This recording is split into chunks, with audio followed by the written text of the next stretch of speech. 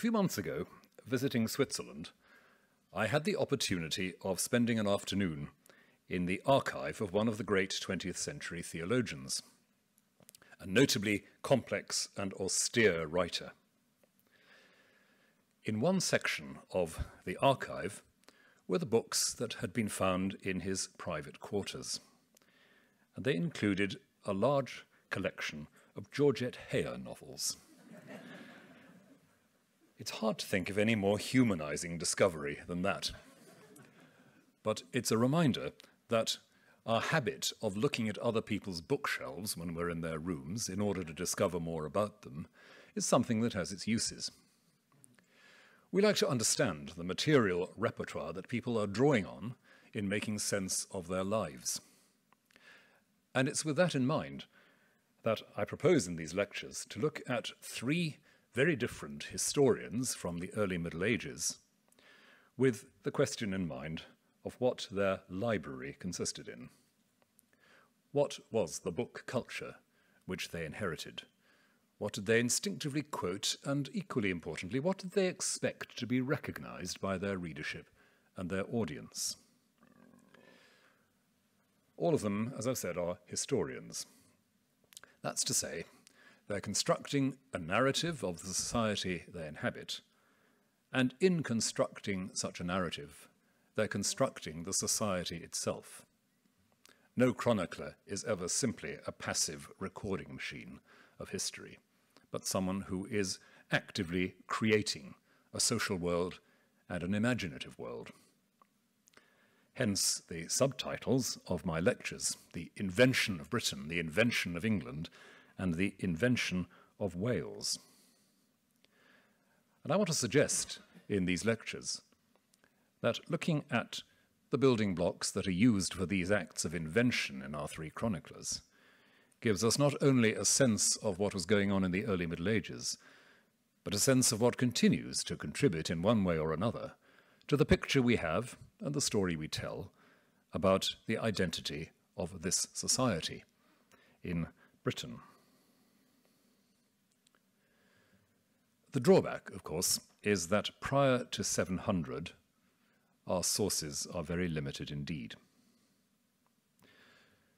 Before 700, there are only two writers we can unambiguously say are British in their formation and their major work. And those are St. Patrick and Gildas, the main subject of this first lecture writing in the late 5th and mid 6th centuries. There are, in fact, just to do justice to the whole scene, two other writers, allegedly born in Britain, who play a very significant part in the intellectual life of the 5th and 6th centuries. The heretic Pelagius and the monastic writer and theologian Faustus of Riez. Both are identified as Britons in our sources. Both are exceptionally sophisticated and eloquent writers, somewhat controversial in their way. But our problem is that we have absolutely no way of knowing how much of their intellectual formation took place in Britain and how much abroad. The chances are that neither of them had their primary formation in Britain, and both of them of course, had their career almost entirely outside Britain.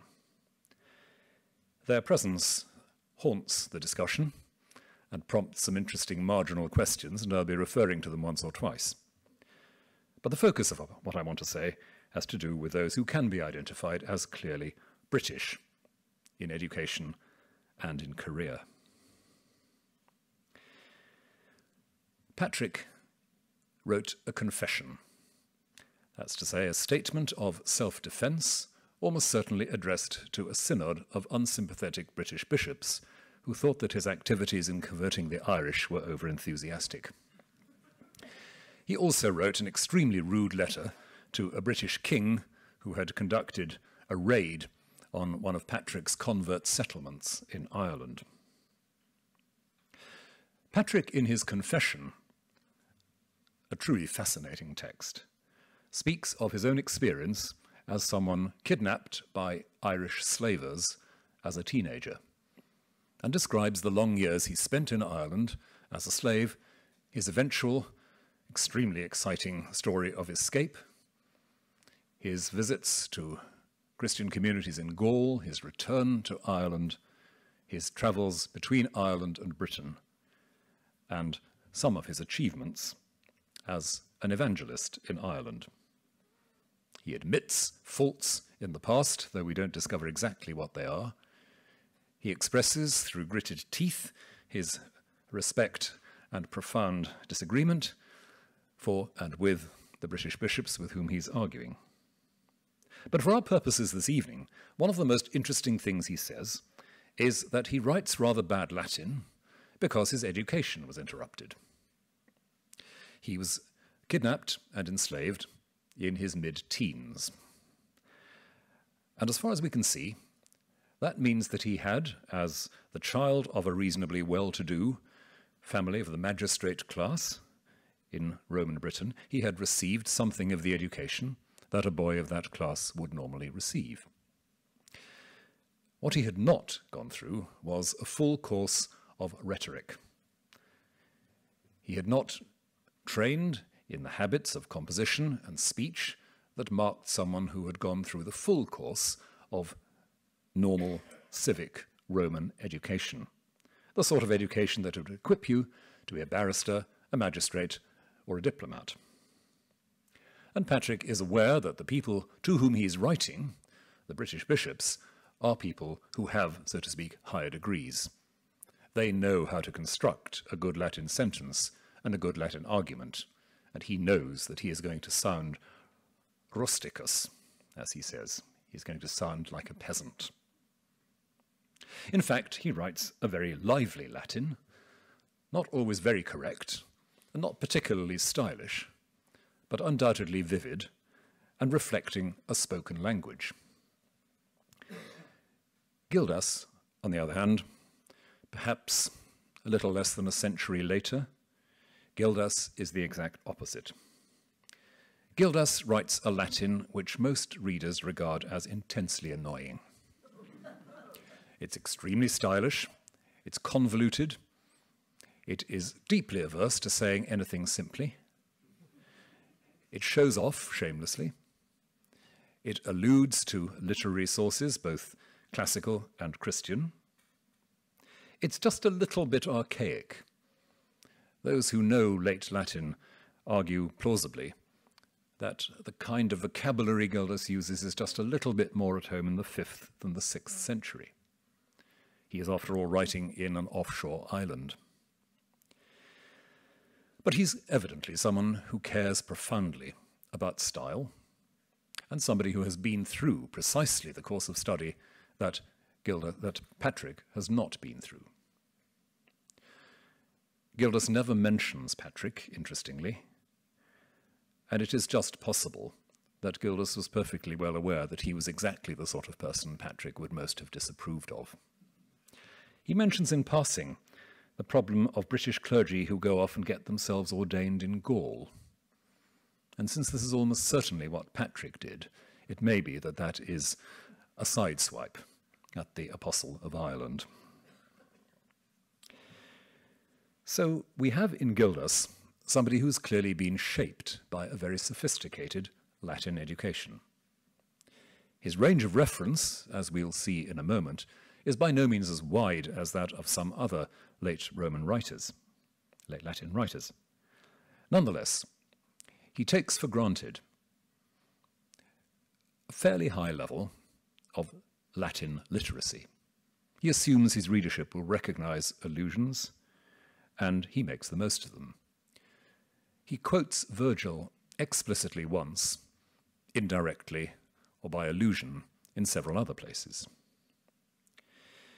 He makes a passing reference to bacchanalian revels, assuming that his readership will know what a bacchanal is. He uses all the tricks of the Latin lawyer in the courtroom as part of his rhetorical equipment, and although he never quotes Cicero, it's easy to imagine behind the way he writes a textbook of good Ciceronian exemplar, the sort of things you might want to say in a courtroom. Gildas is an educated man, in a sense that would have been recognizable quite easily to anyone on the continent of Europe at the same period, and indeed 200 or 300 years earlier. His repertoire is narrower, but his style and his culture is recognizably the same. He is, of course, writing a rather unconventional kind of book. The book he writes, the book we can be sure he wrote, there are a couple of slightly contested um, works also attributed to him in other contexts, but the main book on the downfall and conquest of Britain is a mixture of sermon, history, and polemic.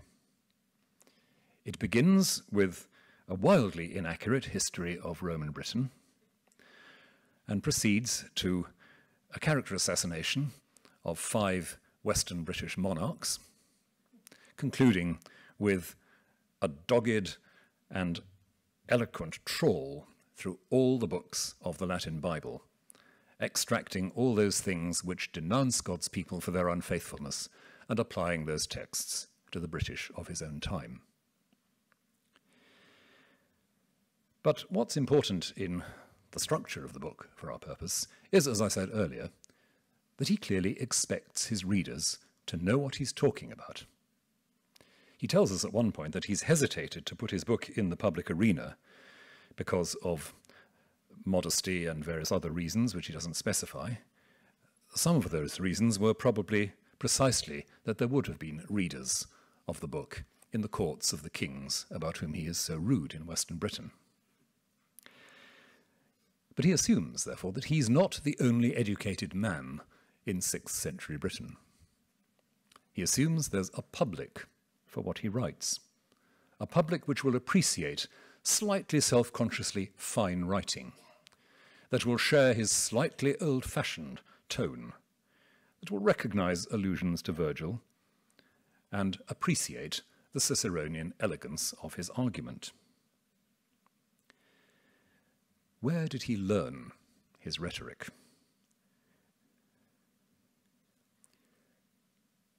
We can't, of course, answer that question, and he gives us no clues at all. But he gives us in passing a very interesting piece of evidence in his paragraphs on the King of North Wales, Maglocunus, probably the same as the Maelgwn of Welsh genealogies. Maelgwn, he says, was, as a young man, educated by a magister elegans, a refined teacher, the refined teacher of almost all of Britain. Maelgwn, as a youth, in other words, is taught the kind of thing that Gildas is being taught, or has been taught, by someone with, whatever this means in the context, a national reputation.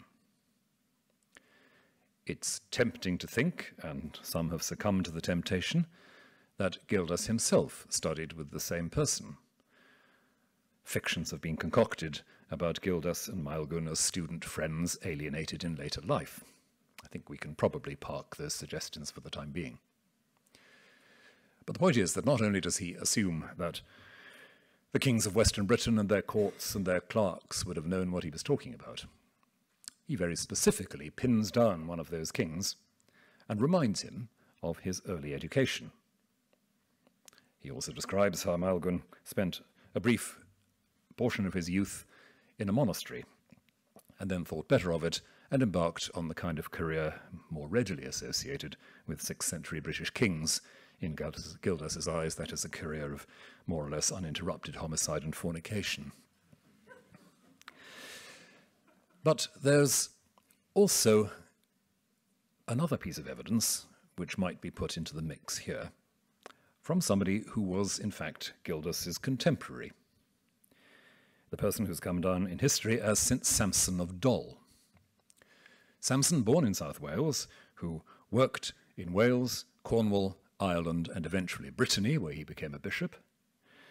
Samson is memorialized in a life written in Brittany, possibly as early as the 7th century, certainly no later than the 9th, but even if late, containing some very early material. And in this, we once again read of a young man who goes to study with a magister of huge distinction, who is familiar not only, we're told, with scriptural and classical learning, but with the traditional law of his own country. His name, we're told, was Hildutus, better known in Wales as St. Illtyd, and the patron of Llanilltyd Fawr, Llantwit Major, in Glamorgan. So there's a school around one particular person that's remembered in hagiography, perhaps a century, perhaps two centuries later, which manifestly does the same sort of thing as the school attended by Maelgwn, King of Gwynedd, and presumably the school attended by Gildas himself. So we're not talking about one outlying, eccentric example of classical education surviving in post Roman Britain. Evidently, there were centres where classical learning, ecclesiastical learning, and indeed, if the life of Samson is right, some form of training perhaps in native poetic techniques survived together. We also have, though this is much more contested, the evidence of the inscribed stones of Western Britain between about 500 and about 700. Suddenly, there's a great explosion of stone monuments in Western Britain, standing stones inscribed in Latin. The work of David Howlett and Charles Thomas has argued very, very strongly that we have to read these inscribed stones as reflecting a very high level of Latin literacy because of the puns the letter counting games, the palindromes, and various other little verbal puzzles that they may contain. I say may because these conclusions have been challenged by some other scholars. Nonetheless, it's very clear that during the period we're talking about, this quite new development of Latin inscribed standing stones, some also inscribed in the Ogham alphabet, the Irish Ogham alphabet. This new development reflected a self consciousness about Latin, about Latinate or Roman identity in the kingdoms of Western Britain, those kingdoms to which Gildas directs his polemic.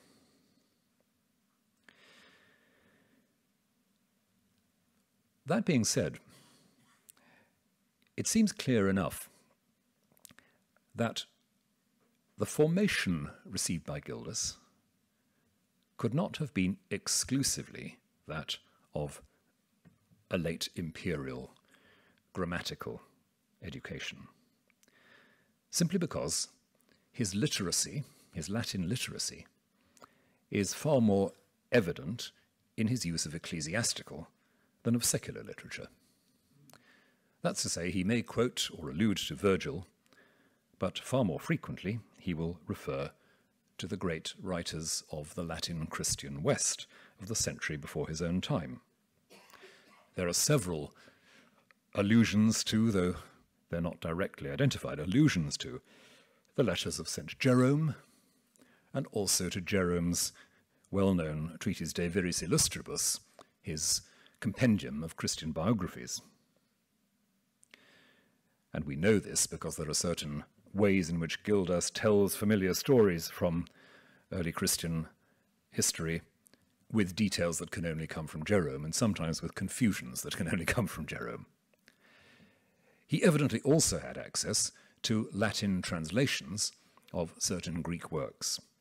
Jerome's great enemy, Rufinus, had translated the massive ecclesiastical history of Eusebius into Latin and brought it up to date about a century after Eusebius's own day, around 400 that is. And Rufinus had also translated some of the more prominent Greek fathers, including the great orator Gregory Nazianzen, into Latin. And once again, there's a detail in one of Gildas's anecdotes which can almost certainly come only from Rufinus's translation of Gregory Nazianzen. He probably knows the life of St. Martin of Tours, the great French monastic saint, by Sulpicius Severus. He almost certainly knows, because there are phrases which echo very strongly um, the text, the universal history of the Spanish Orosius, early 5th century. He refers to the martyrdom of St. Alban in sufficient detail to suggest that he has some kind of account of the martyrdom before him, and refers in passing to the other early martyrs of Britain, Aaron and Julius, usually supposed to have suffered in Caerleon in South Wales, though there is some debate about the exact interpretation of the name. So, Gildas has a reasonably broad ecclesiastical library behind him. And it seems a little unlikely that the rather straitened and conflicted circumstances of mid 6th century Western Britain could have supported many centres or institutions with both a good secular and a good ecclesiastical library existing in separation. In other words, I suspect that the evidence points us towards some convergence institutionally between the secular and the ecclesiastical. That is, we're beginning to see here what we see far more conspicuously on the continent of Europe some 50 years later a convergence between ecclesiastical education and secular. The adoption, so to speak, of the secular classical educational ideal by ecclesiastical bodies, including monasteries. Gildas does not, incidentally, seem to have been a monk, though he was almost certainly a cleric, very probably a deacon. This judgment runs against what some scholars have argued in the last few decades. Michael Lapidge, author of by far the best study of Gildas's intellectual world, has said that Gildas is very definitely someone who belongs in the secular, the classical mode, and not the monastic. His rhetoric, his style, his concern about style is something which monastic writers of that period would have deplored. It would have been worldly and pagan. And yet, it's very hard to think that someone of Gildas's broad education in both fields received those two strands of education entirely independently of one another. So, one of the questions I would want to ask about Gildas's library is whether it was indeed the library of something like St. Illtyd's community in Llantwit Major, whether it was, in fact, a place rather like the monastery of Cassiodorus in Italy later on, where the classical heritage and the ecclesiastical heritage was celebrated and deployed together. It's a suggestion that has been made, in fact, about Illtyd's community, that it was probably much more like Cassiodorus's slightly monasticized um, extended family in a villa, more like that than a conventional monastery.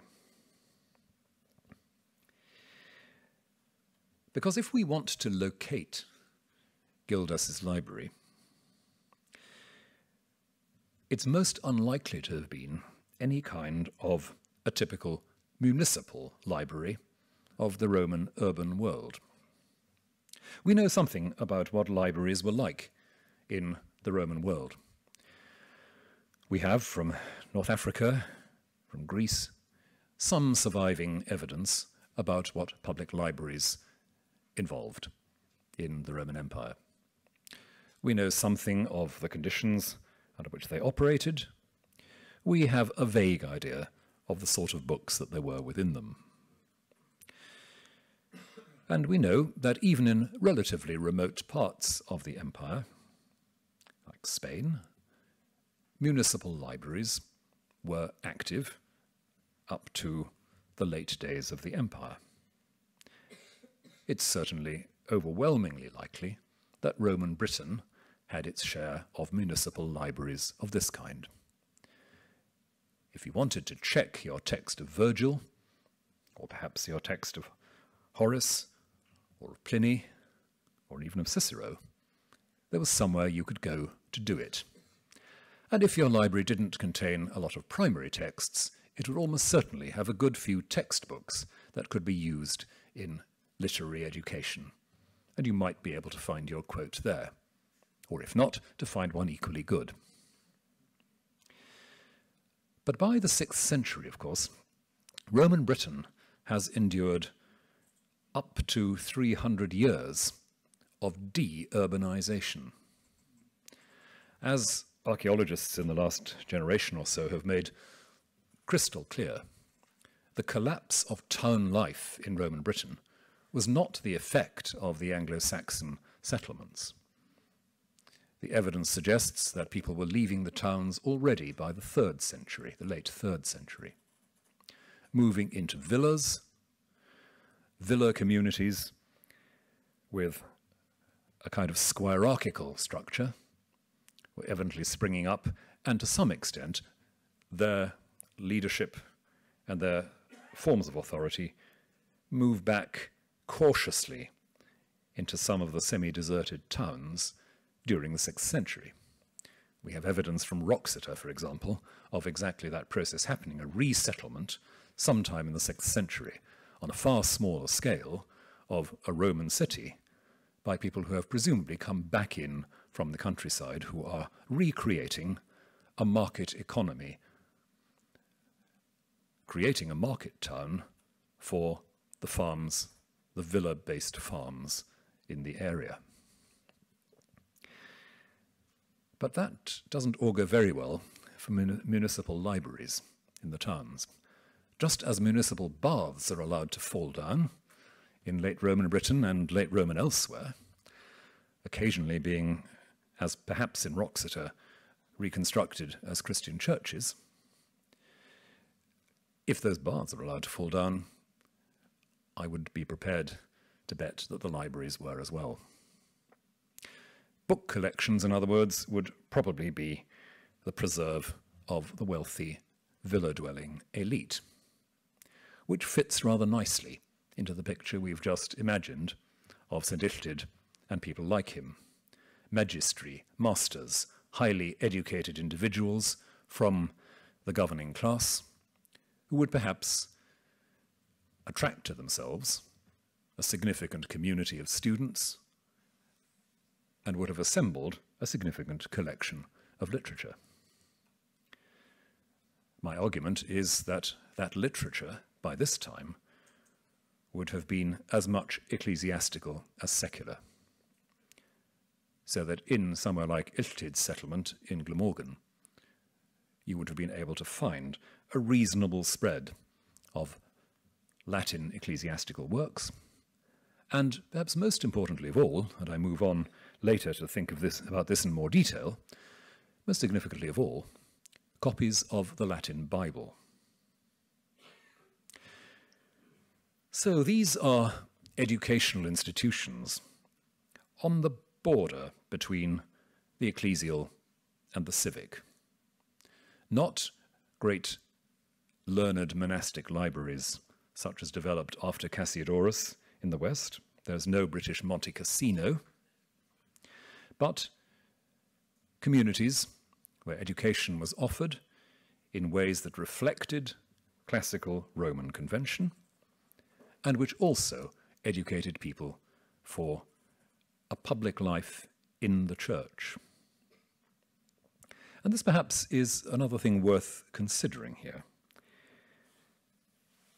People were being educated for public life in this way, undoubtedly.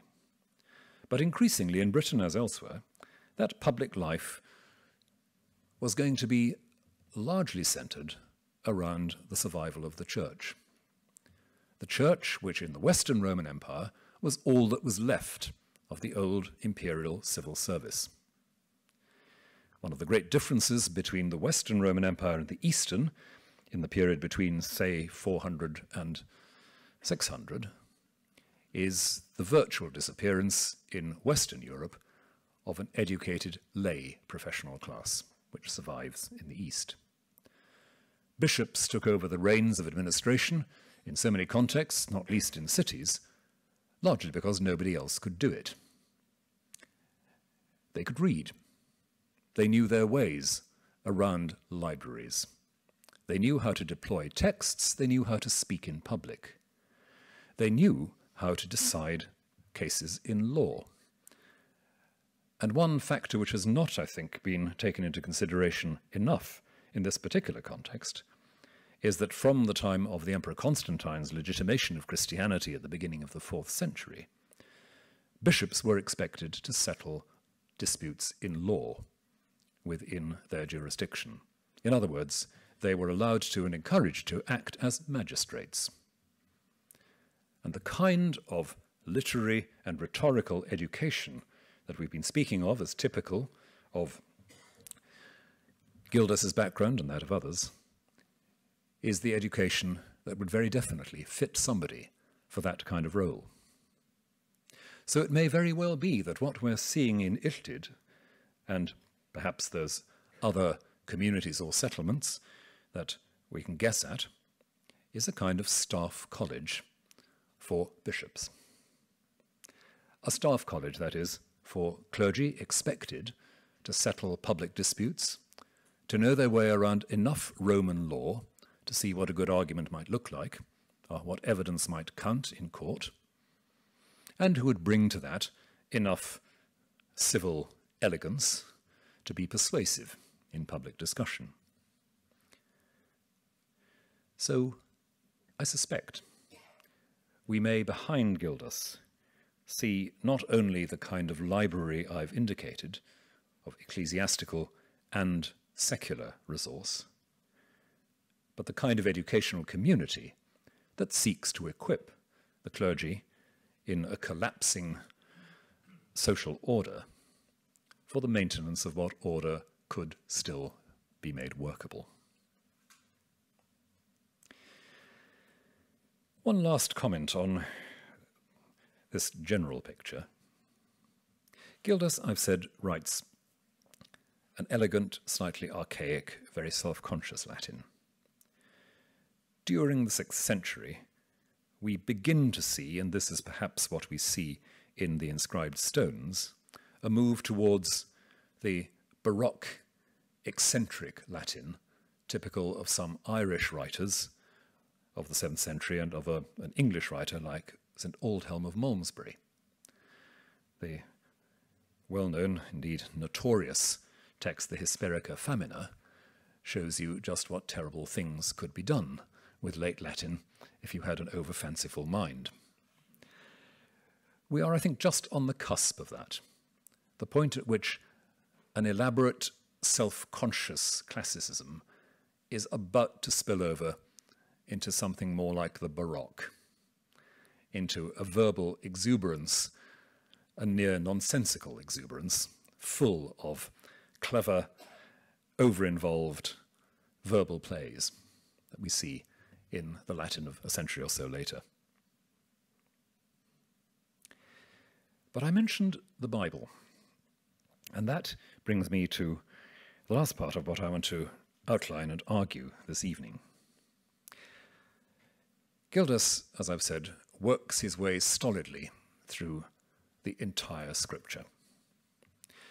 And he quotes extensively from almost every book of Hebrew and Christian scripture, and indeed has one significant quote from um, an otherwise not very well known apocryphal book, the fourth book of Esdras, which for some reason was bound up with his Latin Bible. Scholars are still scratching their heads over exactly why it's there. Perhaps most interestingly, Gildas doesn't quote consistently from any one version of the Latin Bible. Thomas O'Loughlin of the University of Nottingham has recently produced an exhaustive study of Gildas's biblical quotation, a really invaluable work, in which he shows how Gildas oscillates between quoting from the Vulgate, St. Jerome's new version, which he clearly knows, and a variety of what are usually called Old Latin texts, that is, the pre Jerome Latin texts, especially of Hebrew scripture. There's no evidence at all that Gildas knew any Greek, although there was one doomed attempt, I think, some decades ago to show that he might have done. He owes his biblical scholarship almost entirely, therefore, to Jerome and to Jerome's Vulgate and some of Jerome's letters, possibly, though this is very doubtful, possibly one or two of Jerome's commentaries. So he clearly has access to more than one copy of Scripture. He's clearly somebody who belongs in a theological and literary culture for which there is no authorized version of Scripture in Latin. And therefore, he's someone who, in his biblical quotations, is using his intelligence, using the version he prefers, whether for critical or pious reasons, we don't know. Sometimes, obviously, like all the fathers of the church, quoting from memory with some inaccuracy. But working in an environment where there is no prescribed text to quote from. And that, although people have tended to assume that the Vulgate established itself as authoritative very promptly in the 5th century, that actually reflects a far wider phenomenon than some earlier scholarship would have allowed. But the biblical quotations tell us a good deal about how he approaches his own job in relation to the society he's addressing. For example, when he attacks the kings of Western Britain, Maelgwn and Cynlas, Aurelius, Vortiporius, and Constantine, he associates each one of them with some animal or other. One is a bear, one is a leopard, one is a dragon. And this, of course, reflects the apocalyptic language of the prophet Daniel. The beasts who ravage the earth before the last days are leopards and bears, lions and dragons. The kings are cast in these apocalyptic terms. They are the terrible subhuman powers which dominate the world before God finally vindicates his justice before all the nations. But the deeper story is actually a very simple one.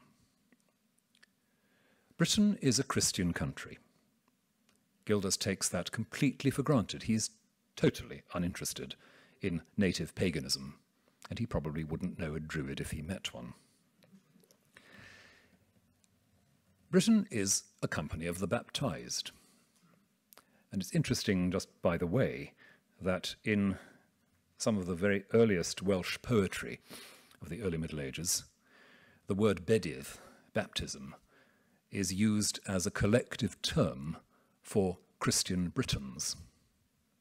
So that campaigning Celtic monarchs of the early Middle Ages sometimes are given the title Bedydd or Bedydd, Lord of Baptism or Lord of the Baptized, or as it's tempting to translate it, Commander of the Faithful. Britain, in other words, is for all practical purposes Israel. It is the chosen people.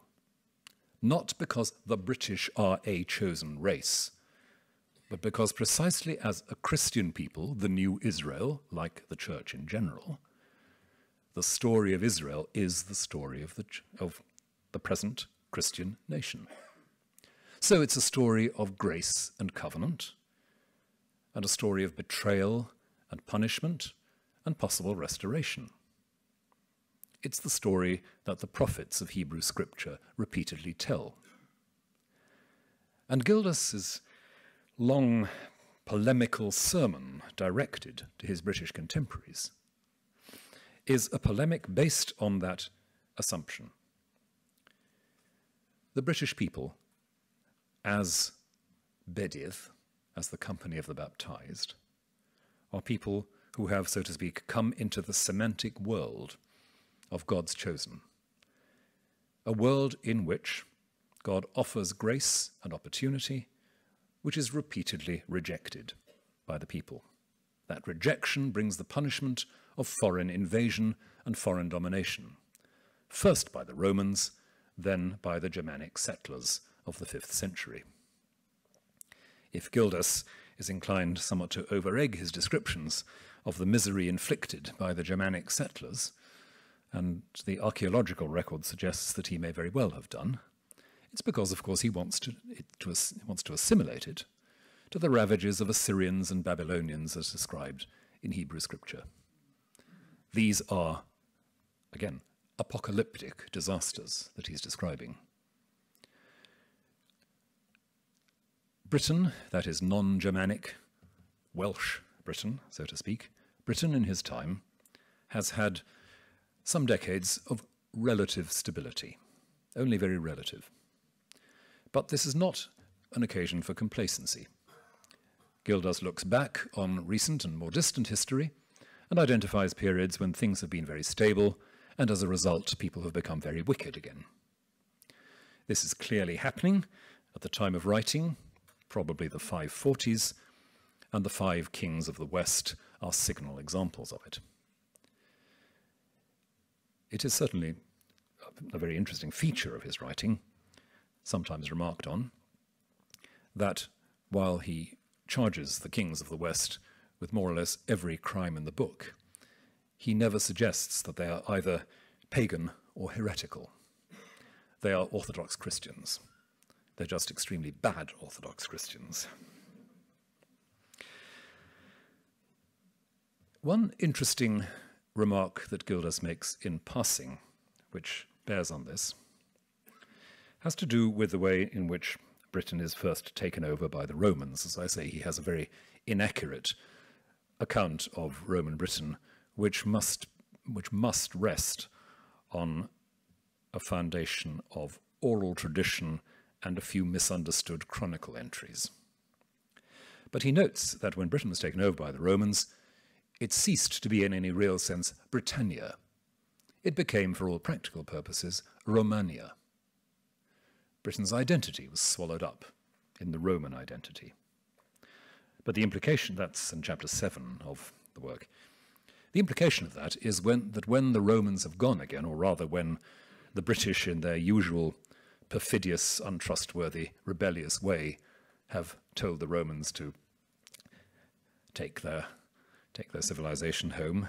What have the Romans ever done for us? What is left is again Britannia and not Romania. That's why he can write a book on the fall and conquest of Britannia.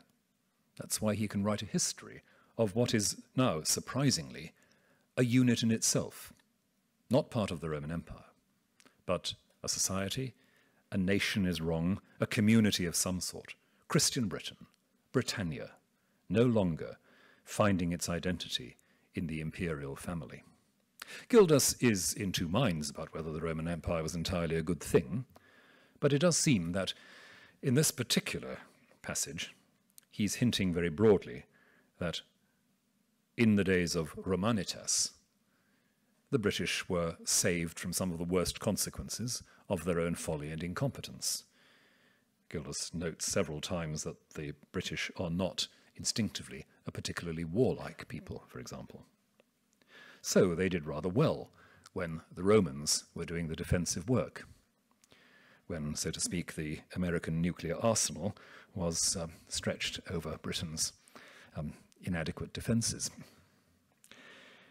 So Britannia is something which Gildas is trying to think through in new terms. Britannia, not as a province of the empire, but as something in itself. That something is the church, that is Britain, the Christian community that is Britain. Therefore, the history of Britannia is now, in the post Roman period, a history of Israel's graces and betrayals projected onto the screen of local history. That's the sense in which Gildas invents Britain pulling Britannia out of the Roman orbit, giving it an identity, a history of its own, in a way that, of course, doesn't happen with other provinces of the Western Empire, and setting it up as, so to speak, a local church stroke state whose history is assimilated to that of God's people in Scripture.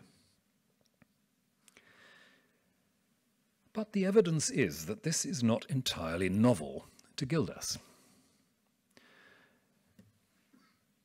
I mentioned earlier the life of St. Samson of Dol, and Samson's dates are roughly those of Gildas.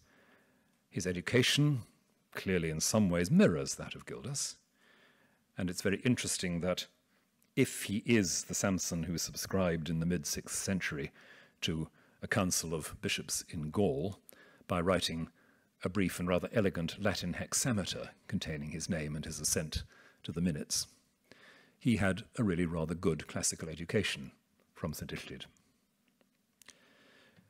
But the significant thing in this context about Samson is his name. He has a Hebrew name. And the life of St. Samson makes it clear that this was a widespread phenomenon in Western Britain, certainly in Wales, in the 6th century. Samson's parents are Ammon and Hannah. He has a relative called Enoch. He has another more distant cousin with the wonderfully resonant Old Testament name of Amraphel. He is part of a generation of Welsh saints, about most of whom we know nothing more than their names, who are called David and Daniel and Asaph, and part of a tradition which continues right up to the early Norman period of clerics receiving, assuming, or being given Old Testament names. So there's a succession of bishops in St. David's called Abraham and Solomon. There is, of course, the famous Asser, biographer of King Alfred, and several more local examples. There are one or two figures who have specifically New Testament names. Um, there is a King Peter in southwest Wales, in Dyfed, and a King Jacob or James in northwest Wales, in Gwynedd, during the 6th, 7th century. But the overwhelming majority of these names come from Hebrew scripture. Even apparently clearly Celtic names like that of St. Tylo conceal, because of a long history of hypocorisms and corruptions, what in the original texts seems very clearly another Hebrew name. St. Tylo began life as St. Eliud, or possibly St. Eliau or Elijah. The T is transferred from the end of the saint to the beginning of the, the name, as often happens. Even St. Illtyd, Hildutus, reappears in Geoffrey of Monmouth as Eldad, yet another Hebrew name. Now, it's very hard to know how far to push this. It may be that some people, especially in the cases of Tylo and Illtyd, used both a Celtic name and a biblical name that sounded a bit like it, because Eliud and Illtyd are perfectly credible Celtic names, phonologically, philologically speaking. Nonetheless, it's a fascinating phenomenon and one which is peculiar to Britain. Virtually nowhere else in the Western Christian world do you find the regular use of Old Testament names. Nowhere else do you find anything like the density and frequency of those names that occur in Wales. You have one odd outlier in Anglo-Saxon, early Anglo-Saxon England, um, the Bishop Ithamar of Rochester, mentioned by Bede, but that's another story. But that does suggest that the identification of the British Church with Israel was something which Gildas inherited rather than creating. So that he becomes not the creator of this model of Britain as Israel, but someone who gives unprecedented and exhaustive literary expression to that vision. So, throughout his work, Gildas is assuming that this is indeed the true history of the British. Whatever may have happened in the period of the Roman occupation, whatever exactly may have been going on in the events of the 150 years or so before Gildas's writing, which he describes in such profoundly confusing ways, so much so that ink continues to flow in rivers on the subject of his chronology. The interesting thing is not the detail of that. It is how a pattern of betrayal and fall, restoration, punishment, and so forth can be extracted from that or imposed upon it as part of creating a Britain which is ideally a society of Christian rulers and overseers, as he says, speculatores, magistrates, priests, religious, and all those who keep the society running.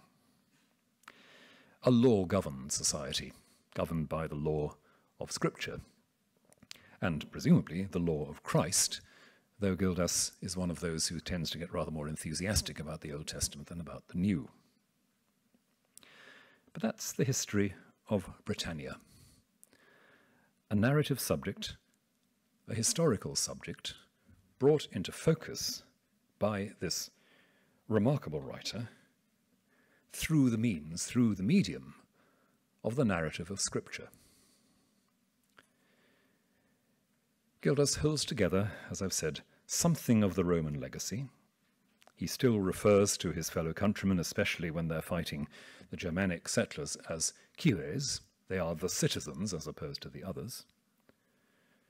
But far deeper is that identification with Israel. Which is why, as I say, I'm not entirely convinced that we should simply accept the verdict that Gildas's education is primarily secular or classical. There is, as I've suggested, enough in him to imply that his library, literal and metaphorical, has a substantial and significant classical element. He knows Virgil, he knows the textbooks, he knows what a good Latin sentence sounds like. But, much more importantly for his purposes, he knows the story of the church, which includes the story of Israel.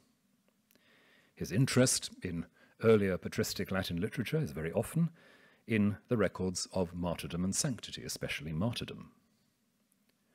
And so, his Britannia is undoubtedly a sacred community.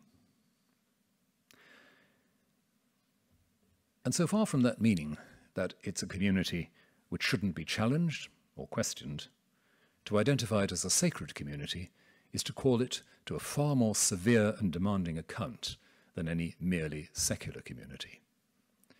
Britain is a society living under judgment because it is a baptized society.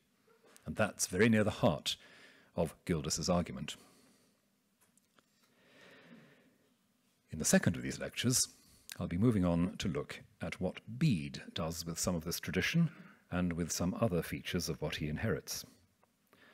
Noting the way in which Bede, picking up some of Gildas's themes, not least the persistent failures and betrayals of the perfidious and incompetent Britons, but recasting the entire story, not in terms of a settled Israel invaded by pagan Babylonians in the form of the Anglo-Saxons, but this time a story of idle, heretical, or idolatrous Canaanites invaded by righteous Israelites.